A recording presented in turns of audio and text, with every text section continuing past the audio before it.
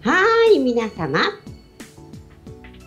えー、キャンプスステーション11月増刊号です。えっと、今回の増刊号は、えー今月11月3日に、えー、と広島の中国新聞法で行われました第10回がん患者大集会をテーマにですね、えーま、画面にあの美魔女が並んでるんですけどねいつも。それが並ばないのがちょっと寂しいでしょうけれども。でどこからも聞こえませんけどね。はい、えーまあ、スカイプっていうことで、えーこのぶっちゃけトークをしたいと思います。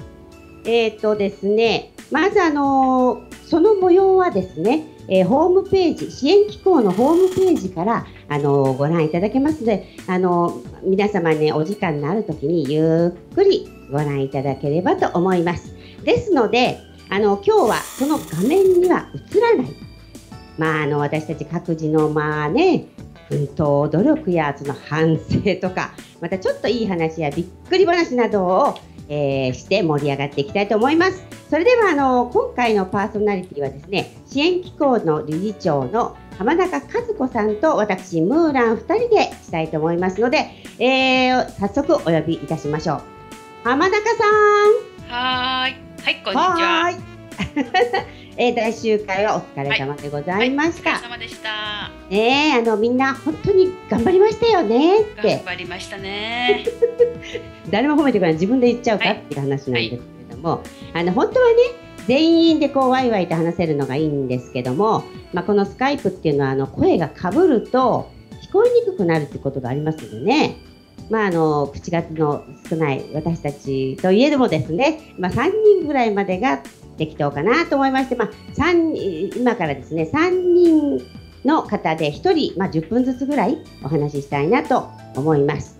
さあそれでは、えー最初は山本由紀さんですね。はい、えー山本です。はい、こんにちは、山本です。よろしくお願いします。まあ由紀さんもお疲れ様でした。はい、お疲れ様でした。本当にいい回でしたね。はい。そうですよね。みんなすごいじゃないですか、自分で褒めちゃって。えっと、ゆきさんはね、えっ、と、あの、確か、さ、えっ、と、15時20分って私。そうそうそうそう、あの、進行表に書いてあったので。えーから、あの、第2部のパネルディスカッションのコーディネーターをね、はいし、ていただいただいたんですね。はい。はいそうです。はい。その、まあ、このパネラーの方は、この日に。あの朝の第1部であのご挨拶とか講演をしてくださった皆様方が5人ですよね。え、え、四人ですね。そあ四人の方と、それから厚生労働省の健康局から正林徳明課長もパネラーとして2部から参加していただいたんですね。はいあ。それで合計5人です。はい。そうでしたね。えっ、と、じゃあまあちょっとね、なかなかゆきさんのもうかっこよくささってやってるお姿がまだ目に焼き付いてますけど、とんでもないです。すごくね、あねの、素敵なと言いますか、あの的確なコーディネーターですごくあの良かったですよ。ありがとうございます。本当はいに感心いたしました。はいって言っていいのでしょうか、はい本当に。はいないかなかや本当にまあコーディネートっていうのは難しいものがありますね。難しいのにうんね。はいはい。その辺をちょっと聞いちゃいたいんですけど、まずそのね。うん。どんなことが一番なんでしょう？大変大変というか気を使っちゃうんですか？まああのパネリストが5人おられましたので、まあどのように進行したらいいかっていうのはかなり考えましたんですけれども、うん今回私にとってラッキーなことは、うんまずメインゲストがあの楠木重則先生というチャイルドケモハウスの創始者ですね。はい。そ彼とはですねあの56年のお付き合いになるんですよ。あ、そうですか。はい、それであのチャイルドケモハウスというあの治療をするところとそれから家族の方たちが滞在するところとこう併設されている施設ができたんですけども、それができた時にも見学に行っていますので大体の知識があったんですね。はい。でもあのあ今回はがんを乗り越えて生きるというテーマだったので楠木先生にはご自身の小児がんの体験について。お聞きしたんですよね。でそこは聞いたことがなかったのでものすごく楽しみだったんです。ああ、それから先生もあのあんまり自分が喋ったことないからってちょっと上がっちゃうとかっておっしゃってましたね。でも淡々とね 思春期の難しい反抗期の時に病気になってご両親にもかなり手こずらせたというお話されましたね。うん。それからもう一人のメインゲストのあのミキさん、うん。舌がんのミキさんなんですが、は大阪で私も大阪に在住しておりますので、はいはい一緒に患者会をの活動を一緒にさせていただいているんですね。そして一度あのミキさんの講演も聞いたことがあるんです。はい。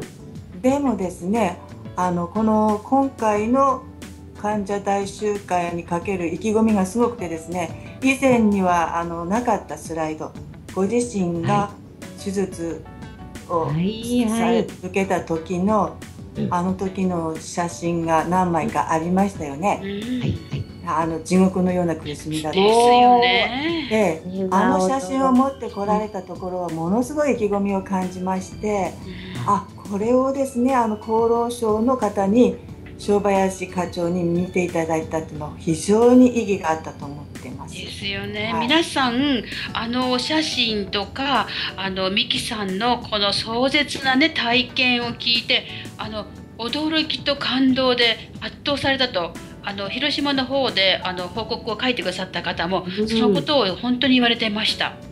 そうですよね。はい、もう、ね。ですからですねあのやはりあの喉頭咽頭がんっていうのは数が、まあ、少ない、まあ、気象の方に入るのかもしれませんけれども、あだからかんあの患者会というのが少ないんですね。でうんミキさんのと大阪でやっておられる患者会にはもうあっちこっち各県から飛行機で来られる方もおられるん月1回会合にね。で体験談をみんなあのお聞きしてお互いにお話をして、あのどのように生活で改善をねされてるかってそういうの情報交換の場、そういう場がねあの少ないのでこれから全国にまああの喉頭咽頭がん患者会のみならず大腸がんでも肺がんでもあの患者会が増えていけばいいなというそういう思いで活動されているということを私知っておりましたので。そうですね。はい、はい、あのそれあの厚労省の方にも伝えられて本当に良かったと思ってます。はい、よかったです。本当にすごい素晴らしいお話でしたね。ですよね。まあ私なんかも同じやっぱり顔の真ん中くり抜かれてますから、ねあの時にあの写写真を見て、私もこれだわとつくづく思いながらステージの横の視界のところから見てましたよあそこ。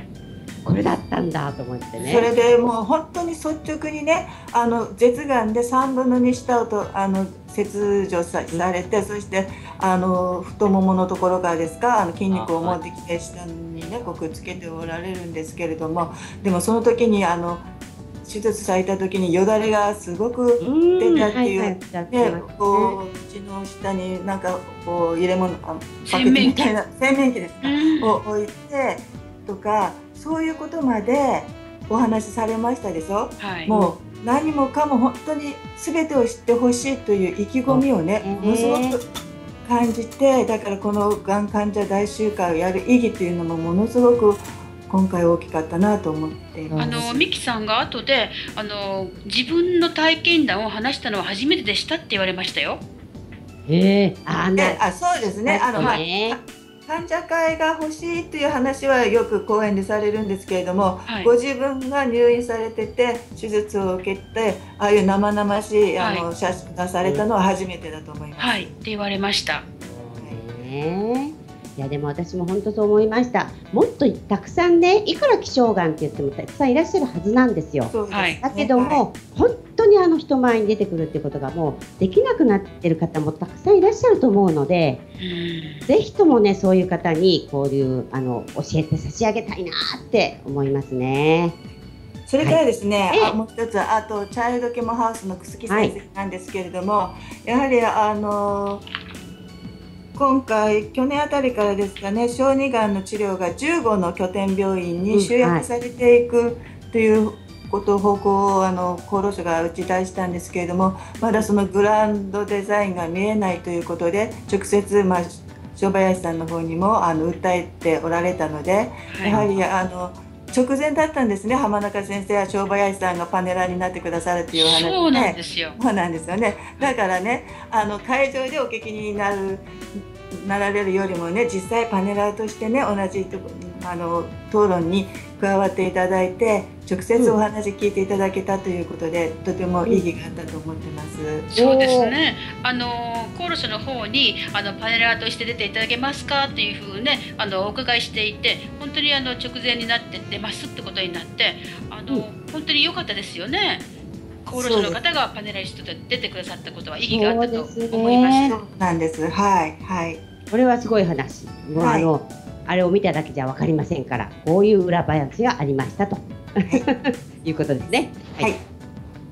えー、じゃあ、じゃあ、あと、ゆきさんは、あの、あの時に、えー、このシナリオっていうか、やっぱり、どういうふうに、こう、自分の頭の中で、こう、ストーリーを考えるわけですか？そうです行き当たね。りばったりですか？まさか。いや行き当たりばったりでやるような入私入な。念な入念なストーリーを組み立てておられて私ともこうやり取りもしながらねもう本当に山本由紀さんもすごくこれに取り組んでくださったなと感謝していますよ。ありがとうございます。はい、まあ、あのそうですね5人ですからね結構あれなんですけれどもまあ楠木先生と美樹さんは患者であり患者体験もされそしてあの今同じ仲間たちのために組織を作って支援するそういう両方の立場なわけですよね。はいそして斉藤敏子さんとそれから金光さんにはですねはあの支援する側としてピアサポーターの要ね。請とそれから金光さんには広島県の就労のし就労支援の取り組みについてうん。支援する側ということで、そして厚労省の商売さんには私たちがいろいろと訴えかけるというそういうふうにグループ分けしましてですねはいやりましたけれども、やはり最初え最初楠木先生と美樹さんのお話を聞いた感想をあの他の3人にもお聞きしたんですね。はい。はい。はこら辺ですごく盛り上がったような気がしますね。ですね。本当すごくねいい組み立てだったなと思いました。うん。大当たりですよ。素晴らしい。はい、まあ、あの、ありがとうございました。もう本当はい10分早いでしょもうはいぜひぜひあのまた次回とかねいろんなところでそういうあのやってらっしゃるんですよね。まあ講演したり、まああでもコーディネートは今回2回目だったんですけれどああそうですか。まあ、またお願いしたいと思います。というかまあもう仲間なのでねこれからも一緒に頑張りましょはいよろしくお願いします。はいありがとうございましたお疲れ様でした。はい。う。ねえ浜中さん、はいさんっていうんですかこれ。はいはいいですね浜中さん。ねみんな本当にあの一生懸命あの次はどうしたらいいかっていいろいろ考えてね本まあ、浜中ね。そう理事長もまあ私あのつくづく思ってた忙しそうだなと思って朝私今度広島行ったじゃないですか私はい。だからその時最初から見たっていうのはもう本当に初めてだったのでええもう浜中、まあ、さんはあのあっと顔見るともう次いないっていうちょろちょろちょろちょろいなりすいませんね。こういう性格なのでというか、あの ね、あの理事長ってね、あの普通なんかどーんと構えて、あの何もしてないように 皆さん世間一般ではね、イメージあるかもしれませんけど、私あの雑用係からやっています。で、大体自分で車を運転して尾道から行って、自なるほど分で荷物一式私のあの車にトランクに乗せて。そこからあの運転手兼雑用係兼とかでね、やってますので、はいねはい。わだまなんておお弁当食べる暇もないぐらいの忙しさでしたもんね。そうでしたね。緊張しておにぎり3個あったのに1個しか食べられませんでしたからね。そうそうそう。あのまたお弁当すごかったですよ。ボリュームありすぎて ありがとうございました。さはい。あ本、当にじゃあ次はですね、山田さんにね、お呼びしちゃおうかな。